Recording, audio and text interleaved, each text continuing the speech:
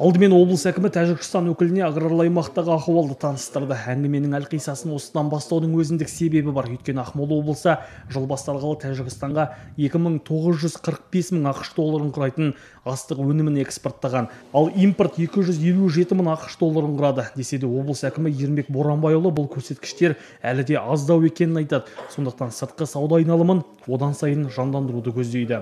Общий товарооборот, конечно же, Акмольского екі тараптағы тауар айналымының көрсеткіші көңіл көншітпейді жылына небары үш бүтін оннан екі миллион ақш долларын құрайды жыл сайын кішкене өсім байқалады бірақ бұл бауырлас мемлекеттер үшін өте аз деп есептеймін Ал Тәжікстан өкілі өз кезегінде сауданы нығайтудың бір-екі жолын нұсқады. Ол облыс орталығы мен елорда маңындағы қалаларда сауда орталықтарын ашу керектігін алға тартты. Осылайша бауырлас мемлекет астық орнына көкөніс пен жеміс жидекпен қамтамасыз ететінін атап өтті.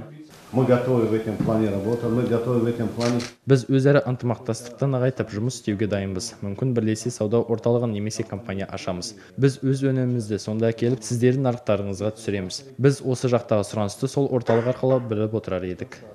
Облыс әкімі бұл ұсынысты қабылдап алдағы уақытта қарастыратынын жеткізді. Екі тарап жиын соңында қол ұстасып естелік суретке де түсті.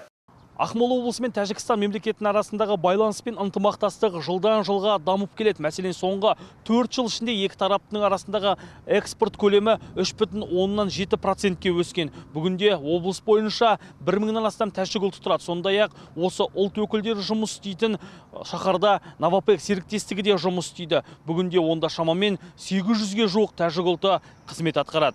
Абзал Азаматұлы, Сабырбек Құлатай, Алмас Адуақасов, Көкші ақпарат.